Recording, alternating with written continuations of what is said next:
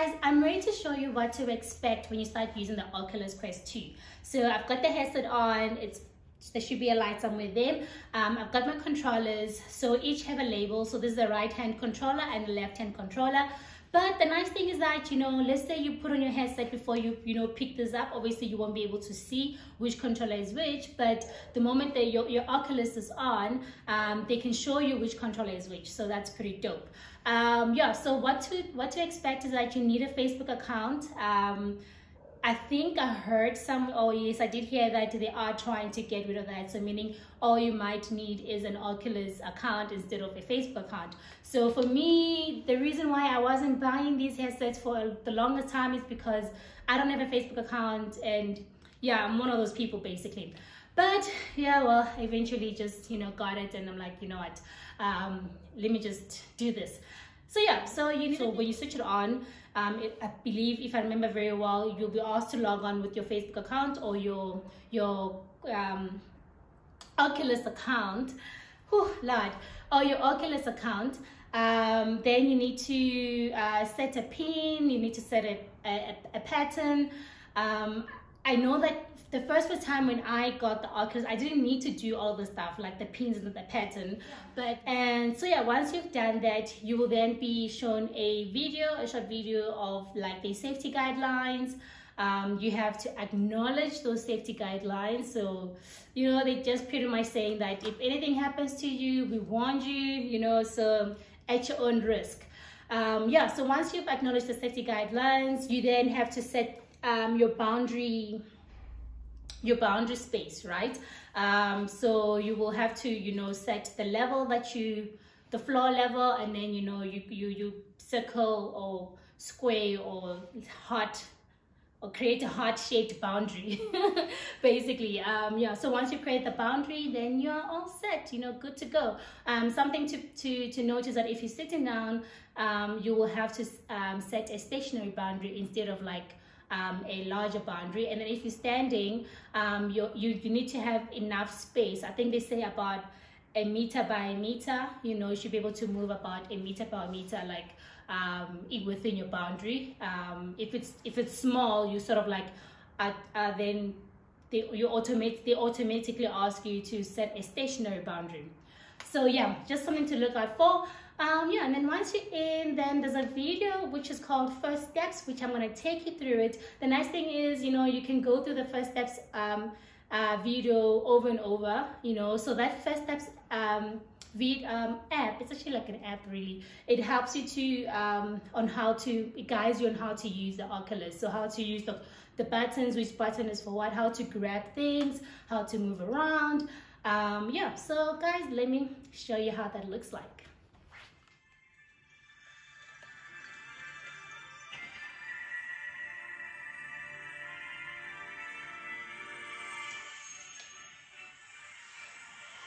So yeah, this is the environment.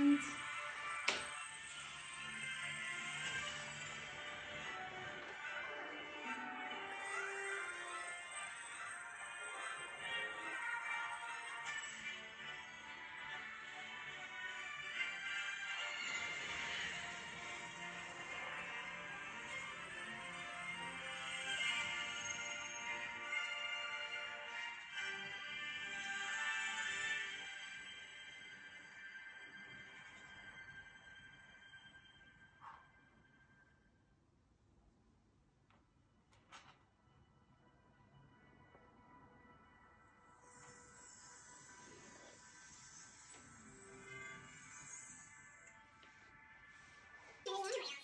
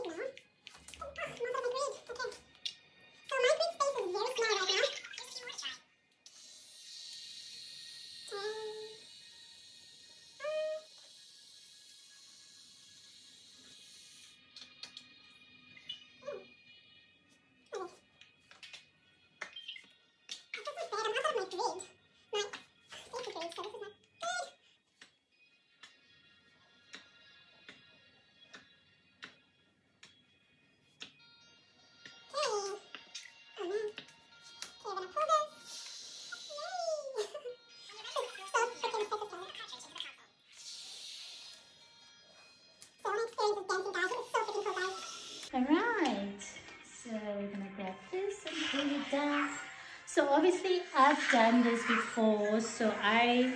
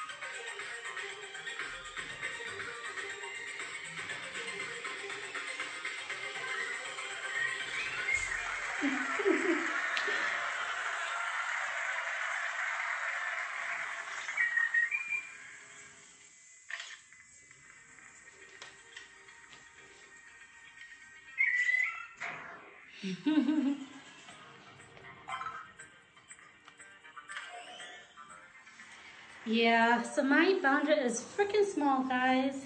It is freaking small.